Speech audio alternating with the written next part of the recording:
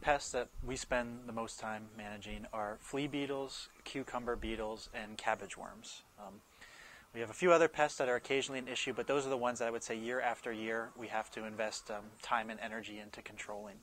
The biggest thing with, I'd say, any pest um, control is rotation. Um, so we try to make sure that uh, any crop in one family does not appear in the same field again for three years. And, it, and, if possible, we try to move them also kind of as far away physically on the farm as possible. If it's a been a particularly bad pest year and we're worried about that uh, the following season.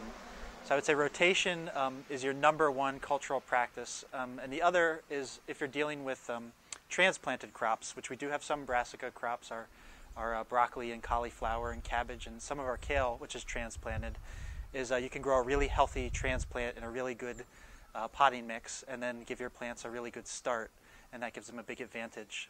Also, weed control is important, um, providing adequate, adequate water. Anything you can do to make your plant's life easier will help them deal with pests uh, more effectively. Row covers are our primary method of controlling flea beetles. We use them on all of our Asian brassica greens, um, arugula, tatsoi, and, and, baby kale are some of those. We also cover all of our larger brassicas, broccoli, cauliflower, um, and cabbage at planting. And also we have to control flea beetles on eggplant, so we also cover those at planting too. And um, row covers are tremendously effective. Um, if they're used well, you do a good job keeping them down. That'll give you uh, fairly good flea beetle control. Uh, the way we store we store all our row covers, um, we, we use 250 foot long pieces. That's how long our beds are, and we use pieces that are either uh, will cover one bed or two beds at a time. And we store those on 10 foot, uh, 2 inch PVC pipes. We keep them rolled up tight on there, and then um, it's very easy then to put to put the row cover down. We'll go out to the field uh, we can put a single peg in the beginning to just hold the row cover in place, and a person can grab each end of the PVC pipe and walk out, and your row cover is in place. Um, if it's particularly windy or something like that, you can occasionally put a peg down, just fasten them in, into place until you have a chance to thoroughly do it. And if it's a double wide row cover on that 10 foot PVC pipe, it's just folded in half so it fits on there. And then after we pull the row cover out, we'll go and, and fold over the edge and apply a, a peg generally every 10 feet. Um, we like three, three pronged plastic pegs, they're the strongest. You do need a rubber mallet generally to drive those in, and it takes a little practice to get good with them. But we'll do those approximately every 10 feet the length of the row cover. We'll pull tension first lengthwise on the row cover, and if we're working over hoops, we'll also pull tension across from the person working on the other side to make them nice and tight over the hoops the, the other really nice fact about keeping your row cover stored on pipes, besides storage and labeling, all those things are helpful, is that uh, it's very easy to take up. Um, we've come up with a system where we then when we go to take up a row cover, we have two portable sawhorses we can set up at the end of the field, and we have a pipe strap on each of those sawhorses. Then we feed our 10 foot PVC pipe through that, so it's fastened to the sawhorse on either side. We can pull up all the pegs out of the row cover at that point if it's a double wide row cover, we'll fold it in half at that point. And then uh, it generally takes three people for us to do this. We'll pull it up to the sawhorses and, and wrap the row cover on the pipe once or twice. Then we have we've built um, a PVC crank. Uh, it just looks like a spool, a handle you would you would use to crank uh, anything really, just a big big PVC handle that we attach to the pipe. We just uh, tap that in place with our hands, and then one person can begin rolling in the row cover the other two people can stand on the sides and guide it in so it rolls up really nice on the pipe. You do have to be concerned about using row covers um, with brassica greens for one reason is uh, humidity buildup can be an issue. If plants are quite large under the row cover and it's, and it's a fairly wet time period, you can get uh, trouble with both rot, um, just from the ground never drying out, and also we have trouble sometimes with aphids or whitefly larvae under a row cover.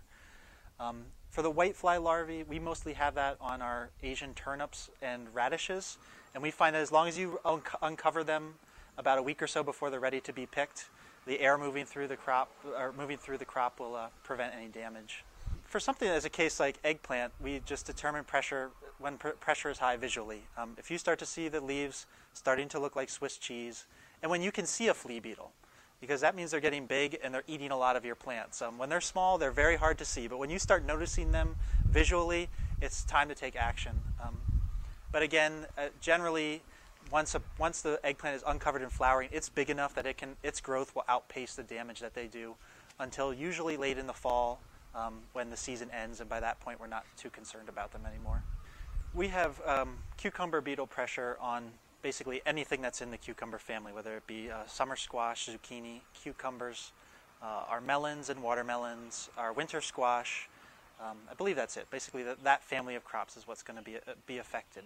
Cucumber beetles themselves generally do not cause a lot of damage to the crops. Um, what they're very good at doing is transporting diseases from planting to planting.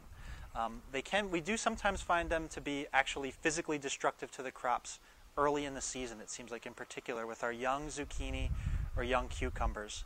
And for that reason, we'll keep those crops covered. Also, it helps um, protect them from frost damage early in the season or just cold weather in general. But then that by the time we uncover those crops with, from the row covers, they're big and can take, uh, hopefully, any what, um, what cucumber beetle pressure there may be. But I have seen cucumber beetle pressure to the point where they'll actually you know, destroy the plant. And at that point, then we'll use Surround more as our control. Um, Surround is a kaolin clay product that uh, you mix into suspension with water, and you spray to coat the entire the entire leaf surface of the plants. We, we just use um, a backpack sprayer, a hand pump back, backpack sprayer for, for spraying our surround. And uh, coverage the, is a little bit hard to see, but it is white, the spray. So that gives you a little bit of an idea what you've gotten and haven't gotten. And uh, the underside of the leaves is difficult to get. The only thing you can do is just try and keep the wand moving a lot do your best to kind of go underneath the plants as you go. But again, we're trying to move pretty quickly, so you just do the best you can as quick as you can. Um, you don't have to cover every square inch of the leaves to, to have it be fairly effective. Yeah, the, the, way surround works is that um, after the plant is coated with the white kind of clay, kaolin clay substance, that that then forms a barrier that when um, uh, beetles or really any insect lands on the plant, um, it, they basically get covered in this powder and uh, uh, cucumber beetles and insects breathe through their skin, and they find this irritating. And uh, the, the, the way we describe it is that then the insects spend their spend excessive time grooming, actually trying to clean the, the residue off their skin, and they just become sort of disgusted and move away. And uh, believe it or not, that actually is quite effective and uh, works pretty well. And um, it's it's nice for that reason, in the sense too that you're using a pesticide that isn't really a broad spectrum thing that's killing the insects, it's actually just annoying them until they go somewhere else and leave you alone. And beyond that, um, uh, several of the cucumber crops, uh, cucumbers, zucchini, squash, and melons, we'll plant successions of as well. Um, we generally plant cucumbers and zucchini every three to four weeks. Um, and it's not so much because of the cucumber pr- beetle pressure themselves, it's just that the plants seem to become exhausted and the cucumber beetles start to spread diseases, as well as us picking start to spread diseases through the patch. Um, so it's good to have a fresh batch coming on, coming online. I'd say about every three to four weeks. So then you can till in your previous planting um, as quickly as possible is a good idea, and then move on to the next. The, the important thing to remember then when you are doing succession planting is when you have successions overlap and you're picking is to always pick from the newest planting first and work your way back into the older plantings. That way you're not carrying either pests or diseases from the older plantings into your brand new, nice looking plants. Mm-hmm. Cabbage worms, again, uh, uh, rotation is an, is an important control. Um, and again, uh, the, the, crops that cabbage worms affect are generally crops that we transplant. So, um, providing really strong, healthy plant, transplants out into the field is another uh, important control. Um, beyond that, those are about the main cultural practices. I would say it's uh, growing good transplants and, and rotation.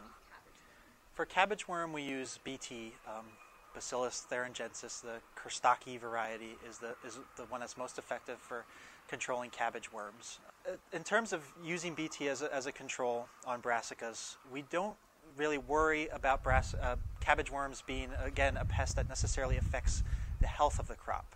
It's um, almost more of an aesthetic uh, effect, uh, in particular in broccoli heads, but also it can be a problem in, um, in winter kale, large kale, and cabbage where the cabbage worms will want to either chew holes in the leaves in the case of kale or cabbage, or in broccoli, there's just green worms all peppered throughout your head. Um, they don't actually really cause a whole lot of noticeable damage to the plant, except that when you go home to cook it and you put it in a pot of water and a bunch of green worms float to the top. So it's mostly keeping our customers happy is, is why we uh, use BT to control cabbage worms. We use a couple basic measures for when we decide it's time to spread BT in terms of controlling cabbage worms. The first is just visually. um, you can look and see when there's a lot of white cabbage moths in your field. Um, some years, the, the instant you're, you're transplanting out your cabbage plants, you see cabbage moths laying on, landing on them and laying their eggs uh, immediately. Other years, um, just because of natural population fluctuations, there's not that many around, and it's not a real severe problem. Um, but in general, for us, we're mostly treating just the crop prior to harvest. So approximately when we look, for instance, at broccoli or cauliflower, as maybe another example, about a week or two before we think we're going to be harvesting, we'll go out and use a backpack sprayer um, and mix up a, a, batch of BT, and we generally spray just the heads and the surrounding area of the plant. Um, we're not spreading material over the entire plant. We're just spraying the area that our customers are going to get and that we don't want the worms to be in. And then uh, what happens basically, the way BT works, is that those cabbage worms then feed on the crop and uh, they ingest the BT, and it actually uh, it uh, will rupture their intestinal tract. Is basically how I understand it, and they'll die. Again, with BT, I just recommend it with any spray is just reading the label that comes in the bag. Um, I think the most dangerous uh, part of dealing with BT is dealing with the concentrate when you're mixing the mix. Uh, you want to wear gloves, and it's always good to wear long protective clothing. I believe with BT, it's also recommended to remove that clothing after spraying, and uh, do your best, you know, to keep it keep it off of you and uh, uh, your clothes as much as possible. Yeah, it's our main way of, of seeing what sort of threshold we've, we've reached in terms of, of pest pressure is just by getting out there and walking around. Um, the best management you can do for anything on your farm is to get out there and walk around all of it. Um, so you get out there and take a good look at the crops. You know, walk an entire row, walk a few different rows um, to see what sort of uh, pressure, whether it may be insects or diseases, or maybe something just needs water.